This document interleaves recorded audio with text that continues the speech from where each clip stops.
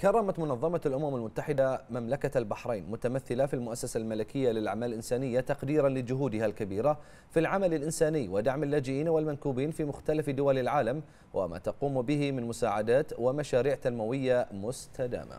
نعم حيث قام السيد خالد خليفة ممثل المفوضية السامية للأمم المتحدة لشؤون اللاجئين لدى دول مجلس التعاون بتسليم الدكتور مصطفى السيد الأمين العام للمؤسسة الملكية للأعمال الإنسانية درع التكريم. وبهذه المناسبة أشاد السيد خالد خليفة بالجهود التي تقوم بها مملكة البحرين في دعم اللاجئين ومساعدتهم مراعاة لوضعهم الإنساني وتقديمها العون لمختلف المتضررين والمنكوبين في مختلف دول العالم مؤكدا بأن هذا التكريم الخاص من منظمة الأمم المتحدة يأتي تقديرا لمملكة البحرين لكونها من الدول السباقة في تقديم الدعم الإنساني للجميع دون تمييز أو تفرقة.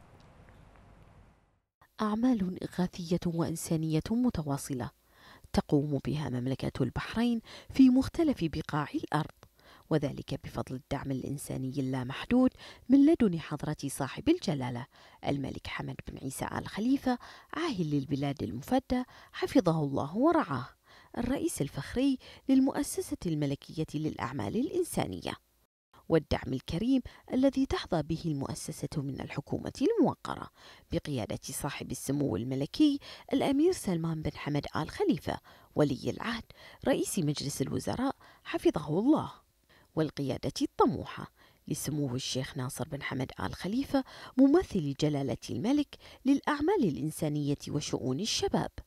فهذا الدعم لفت أنظار العالم حتى بات نموذجا يحتذى به في مجال الأعمال الإغاثية والإنسانية وعطاء الشعب البحريني الكريم حيث تبوأت مملكة البحرين مكانة ريادية رفيعة في هذا المجال خصوصا وأن ثقافة العمل الإنساني ومساعدة الآخرين ليست بالشيء الجديد أو المستغرب على مملكة البحرين.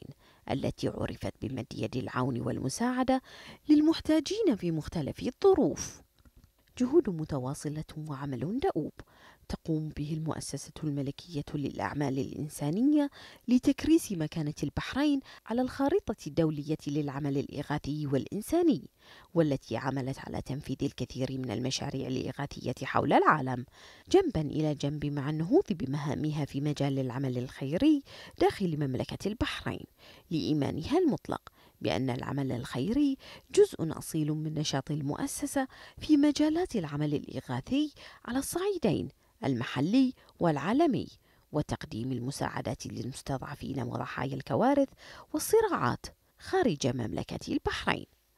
إن المتتبع لجهود مملكة البحرين في مجال العمل الإنساني يجد أنها قطعت شوطا كبيرا في مجال العمل الخيري حتى ينعت ثمار جهودها في مختلف دول العالم في مجال العمل الإنساني ودعم اللاجئين والمنكوبين فضلا عن ما تقوم به.